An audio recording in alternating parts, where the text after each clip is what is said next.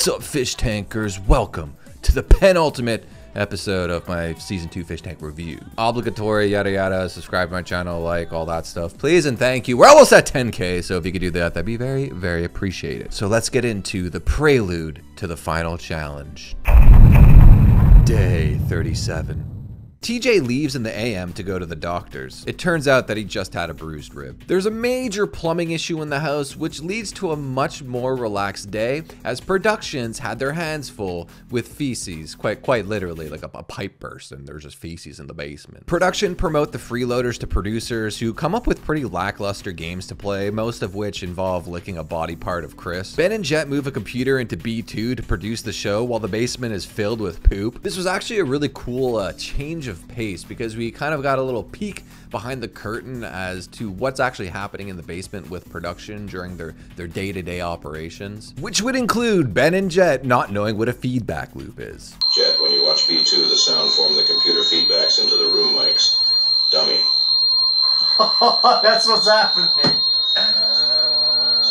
They bring Greg up into B2 to help them produce the show. TTS is being relentless to them, so the actual producers in the room start playing into the meme that like they're they think they're doing like this really artsy Kino type thing, but in reality they're just coming up with these really dumb childish games for the for the fish to play. So with them playing into it, they just come up with like even more ridiculous challenges, like a everybody has to move in slow motion challenge, uh, would guess Oliver's shoe size challenge. Cowboy inexplicably makes a super room.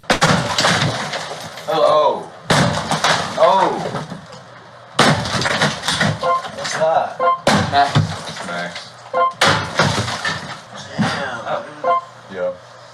Name Johnny? I guess.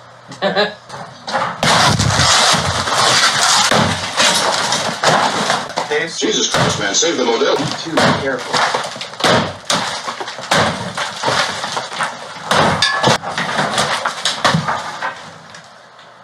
Ah. Really open the room, you know? Mm-hmm. Haley goes into the goon cave for a confessional, and Vance shows Oliver how production like to mess with the fish. I heard TTS say that, it's like, oh, don't tell anyone, but Tate in the confessional just said that you're cute, so you could, like, play off that. Oliver said you're cute. No, no, no, she said I was cute. Oh. Wait.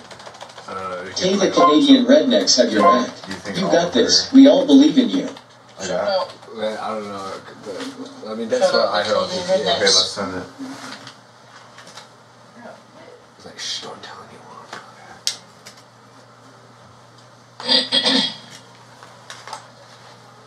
But uh, Hey, do you think Oliver is cute? no, Oh. Damn. Maybe TTS was lying. his personality yeah. ruins it. Oh. Now, What do you have to say about that? Greg ends up leading a Dungeons and Dragons game, which is period accurate, and the fish seem to really get into it. It was pretty wholesome. Greg gets a body cam while the fish play beer pong. And Greg plays Skyrim. There it is.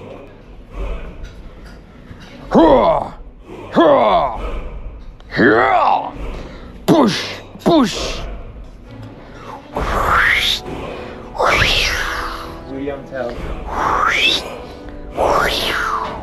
Poof! Poof! Poof! If, you- if I take out on your fatigue too much, you're not gonna be able to get back up.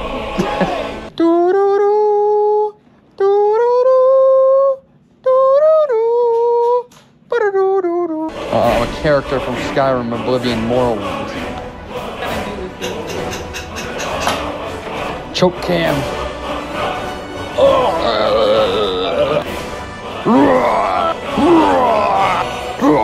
Listen, I understand there's a level of irony to people liking and endorsing Greg. Um, the fact that he doesn't really want to be there, it, it makes him really endearing to the fans.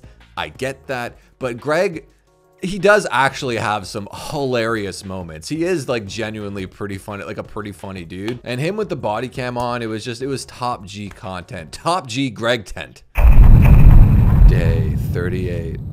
TJ has pink eye and has to go to the doctor's. Again, most of the house, just like the day prior, were in like a bit of a malaise. Except for Taylor, who has noticed that she's the only one with her head in the game. Baffled, in a way, as to how everyone's kind of checking out. Um, it's very interesting to see that they're not as in this competition as they were. Shinji gives a Hooter review of the house. Is that why you don't like Taylor? Because she is pretty flat? Taylor.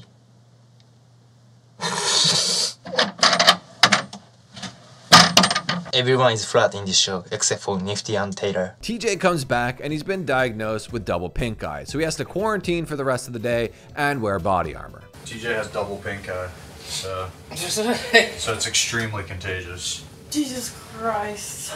So we put that on him, so you guys can have a visual reminder on your shoulder, your shoulder pad. So this is the contagious suit. When you see red, think danger, pink eye. He tells a funny story about something that happened with him and Bex when they went to the doctors. When we went to get the prescription, uh, you know, I'm under my uh, mom's insurance, and Bex was with me, and uh, the guy asked her her age, and uh, he thought that Bex was my mom. With Taylor making the claim that Airsoft Fatty's supple naked body was sitting on all of the furniture in the house for the past few days, that he was the cause of TJ's double pink eye. You said you didn't want me to. W. Get on that shit. Stop, right stop, now. stop. It's about time someone Nah, called her you you've done made some sly remarks and death. shit that really pissed me off. This would start off as a pretty pretty normal argument, but very quickly escalate into like a season one style airsoft fatty uh, autism explosion. This argument goes on for a really, really long time. I'm not going to try and condense it all down, but the gist of it is that the other day when Taylor threw a bottle, a concoction of like zip and other things onto Fatty when he had just woken up, or rather it just woke him up, he was still convinced that there was pee in that, and he feels like Taylor is singling him out because he's autistic, alluding to that she has no respect for autistic people and she's only singling him out because he's autistic and thinks that he's weak. Don't even act like you've been chewing me this whole fucking time. No, I'm not You're the one saying throwing that. piss on me. Chris, I haven't. You're the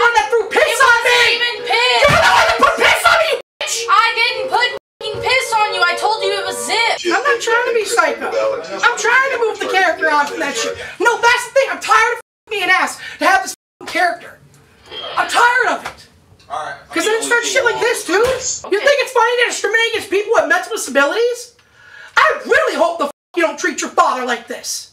I hope you give that man the utmost respect. I do. Because I'm unlike Frank, I do. I don't want to go motherfucker. hands You don't know how I treat my dad. And don't bring my dad into this, Chris. I could bring your mom into this, but I'm not. So f off with that. Your father's not dead. No, but your mom had cancer and was dying. It was not piss. Yes, and staff told me about whose piss it was. And how do you know they weren't lying to you, dude? How do you know they weren't gaslighting you? Dude, they are not. How the f- do you know they weren't? they How are. do you, how do you not know that you're the it. f***ing Keep it up, joke here? You're the joke. And they're using you as the joke. You're the butt end of the joke, Chris. They want you to they want us to "Taylor, f- with you. Shut up about your bigot dad. He's a higgler. They lover." want us to f- with you, Chris, because of your reaction. You can't take it. With Tay not backing down, Fatty goes to the basement and gets a bucket full of snowballs to throw at her, but she still isn't phased. The body cam is put on Cowboy, who brings Taylor into the attic. Do you ever speak to Chris Chan over voice? Chris Chan. No. Have you ever had impure thoughts about Trish or Nifty?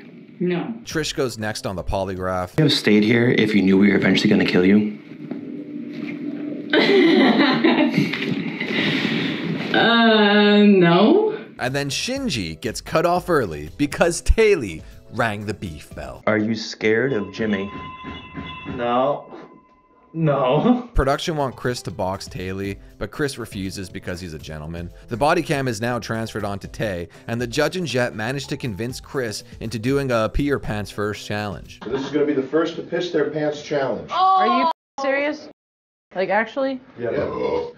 All right, referees, keep careful eye. Look for the first signs of a wet spot. And begin. You're pissing already.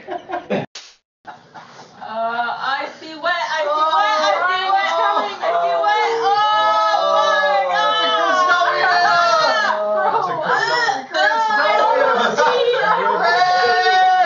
W. almost like immediately. It, the speed at which this man did this was it was it was nothing short than incredible. And the idea that Taylor didn't win this, I mean, she literally pees 30 times a day. And on top of that, right when they put the body cam on her, she's like, "Oh, I need to pee. What do I do about the body cam?" Like she had to pee minutes before this challenge started.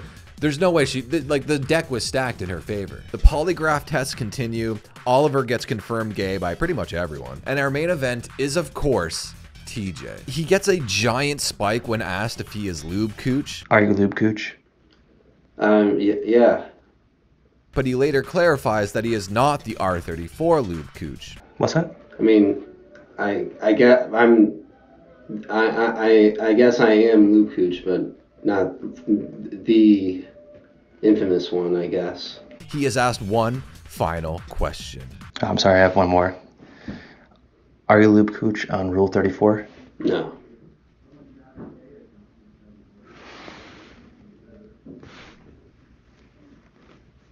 Okay. And with no real spikes, TJ has officially or unofficially beaten the allegations. Until assumedly days is that a word assumedly?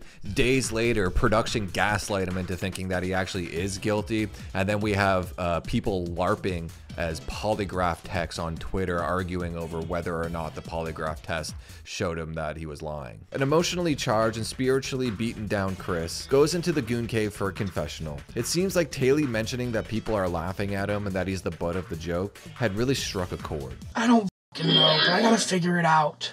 Chris, what you're going through sounds really hard.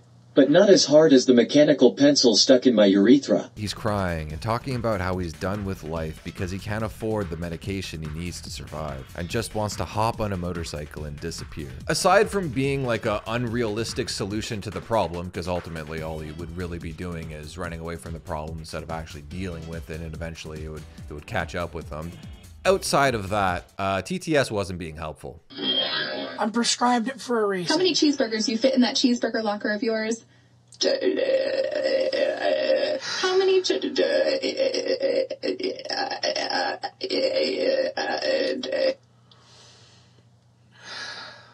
Another little meme I'm pretty sure I skipped over that's been going on in the tank for the last few days. I didn't think it would really lead to anything, but unbeknownst to me, it did.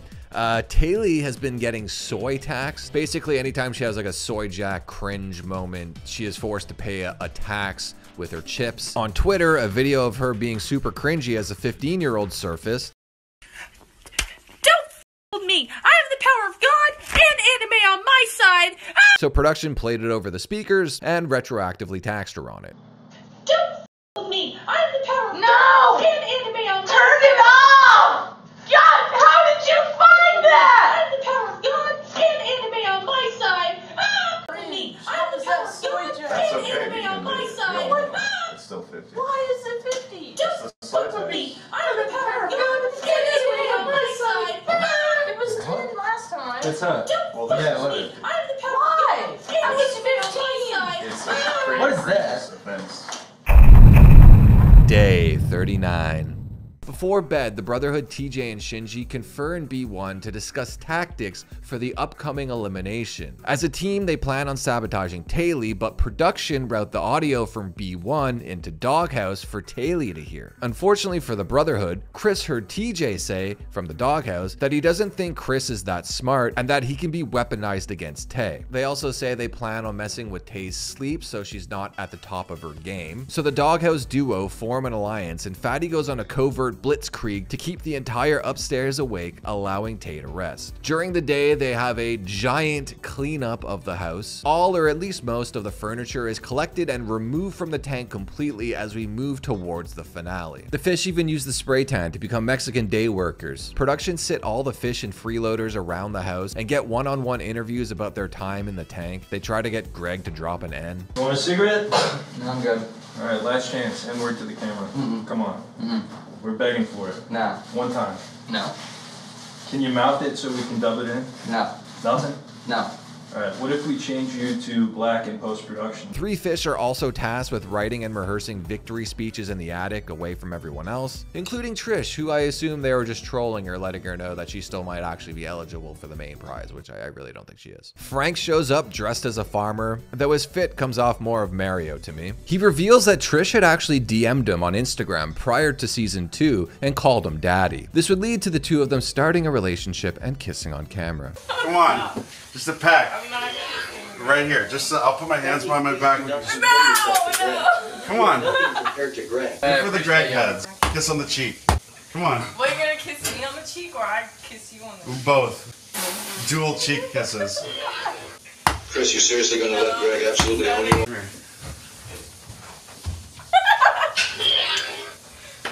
Y'all should. Frank plays Tickle the Baby to Chris's dismay. Lashing out because I'm a cranky baby. I need a tickle to help me relax. A relaxing tickling sesh with the bros. Anyhow, move set would be Earthquake, Toxic, Recover, and Surf. Or no, Skull. Skull's a better move. Teammate number two. It is the legendary Pokemon Arcanine. Tickle the baby. Rocket, Fire Blast, Tickle the Flamethrower, baby. Street Tickle Speed, the baby. and Wild Charm. Tickle the baby. Tickle the baby. Tickle the baby. Tickle the baby. Tickle the baby. Wee, wee,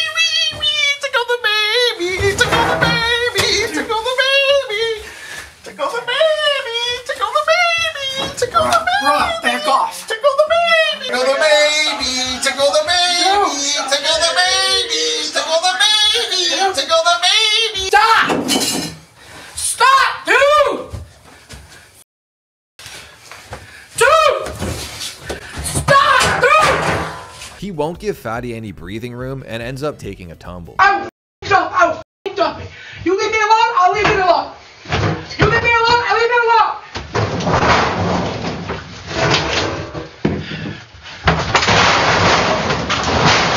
Chickens get released into the house. God.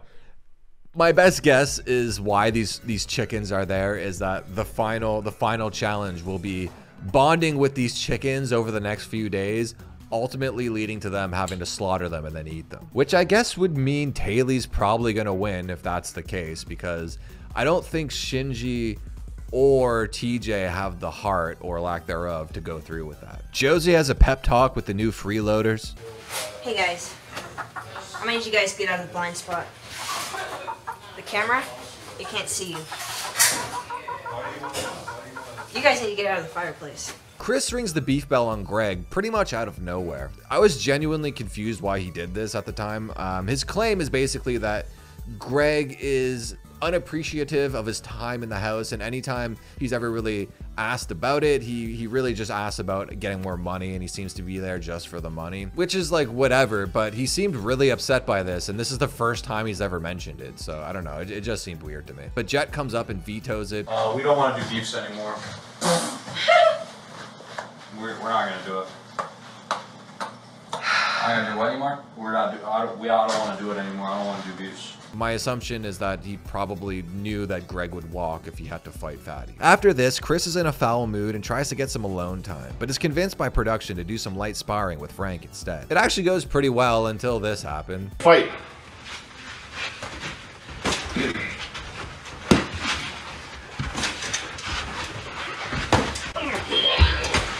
Knockout fatty, sir. Please, sir, do it for India. Ah. Nice work, Chris. You okay, buddy? Not bad. You alright? Trish, help him up. Come on. No, I'm. Not people's punching bag joke anymore. You're not a punching bag. You popped me pretty good. Good effort, Chris. Chris is humiliated at losing his pants during the fight and goes upstairs to be alone once again. Various people are trying to talk him down because Chris still believes that he's the butt of the joke and is being used as a prop by production. An idea that was hammered into his head by Tay the day before. Judge comes in and assures him that this is definitely not the case. Did Taylor tell you uh, that we bring you out just to humiliate you and get views? In your hand. I look at me. Look, look at me, Chris. I swear. To, I swear to God. I swear my life. That's not true. Okay. I swear to God, that's not true. Swear my life. Yeah, we got to lose weight. Season three. 100%. Season three, we're gonna get an exercise bike. I'm gonna do the treadmill. I'm gonna be working out with you, but we're gonna we're gonna lose weight because I got I have to too. The two then train with Frank in a support role. The three finalists are given jumpsuits and are tasked with painting a colored line on them so they can easily be told apart since they all have bald heads. Blue for TJ, yellow for Shinji, and red for Tay. The fish begin to drink as it is the eve before the final elimination challenge. They play Truth or Dare, which is called Greg or Frank. We get drunk Greg body cam for the rest of the night as well. Chris tries to join and is humiliated in seconds. All right, the game is Greg or Dare. It is truth or dare. But if you choose.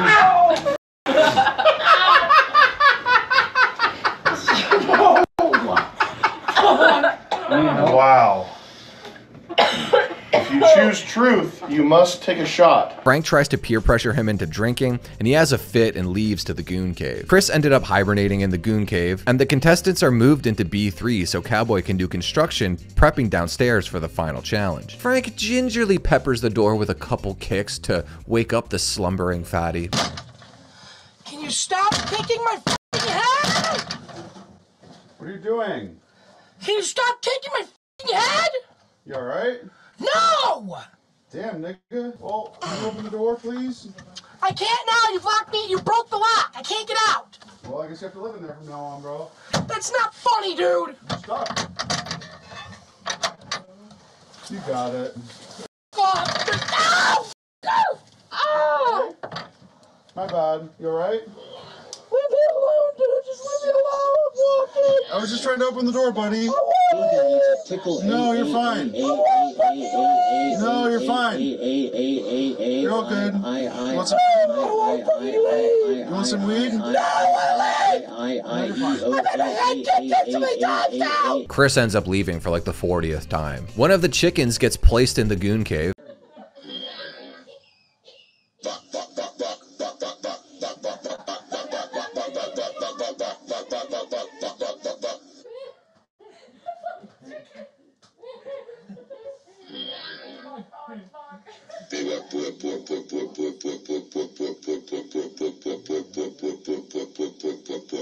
How rude. During Chris's time in the basement, they continue playing Greg or Frank, and Frank gets Greg to admit that he'd say the N word to save someone from being SA'd. I'd play the clip, but honestly, the R word gets tossed around so much, like 60, 60% of the clip would end up being censored. Find it if you can. As per usual, Chris comes back upstairs and sticks out the rest of the show. Greg, who is blackout drunk at this point, ends up crying from the general stress of the show, as well as the SA and N word talk. No, man. Greg. No, buddy. Don't cry. Some sea shanties. That's Come here. always lifts the spirit. Give you a hug. Give me a hug. Come here. Come here.